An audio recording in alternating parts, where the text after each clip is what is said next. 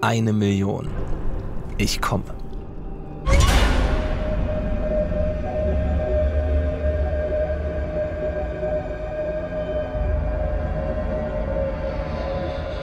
Paranormales kann man am besten an Orten nachweisen, um die sich viele Geheimnisse ranken, wie zum Beispiel hier auf Schloss Burg. Aber sind wir doch mal ehrlich, wo begegnen uns Geister meistens? Entweder als äh, verschwommene YouTube-Clips oder als pixelige Fotos.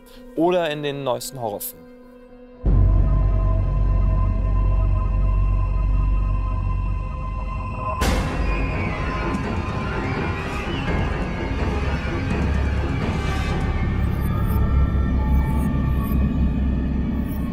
Schlicht rein.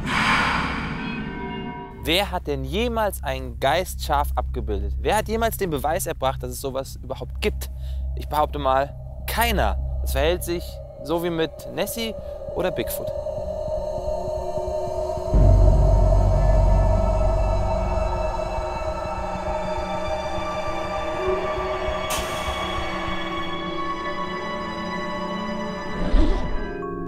Da drin wurde die kleine Carol Ann in der Zwischenwelt gefangen gehalten. In Poltergeist, dem Horrorklassiker von 1982. Keine Angst, Jan, ich bin kein Geist.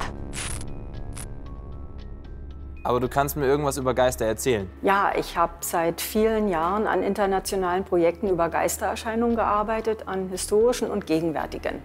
Okay, dann hast du ja ziemlich viel Ahnung. Wie können denn so Geistererscheinungen aussehen? Es gibt ganz viele verschiedene Arten. Die interessantesten sind die Erscheinungen von konkreten Menschen, von noch Lebenden. Und manchmal erscheinen sie auch in einem Licht oder es strahlt ein Licht aus ihnen raus.